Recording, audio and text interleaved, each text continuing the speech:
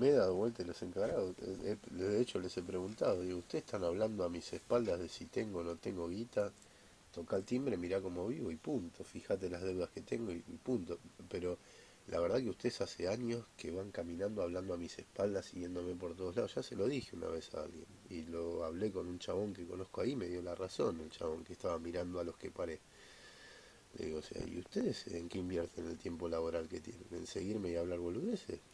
¿Qué laburo es ese? ¿Y ¿Cómo lo, ¿Cómo lo sustentan económicamente?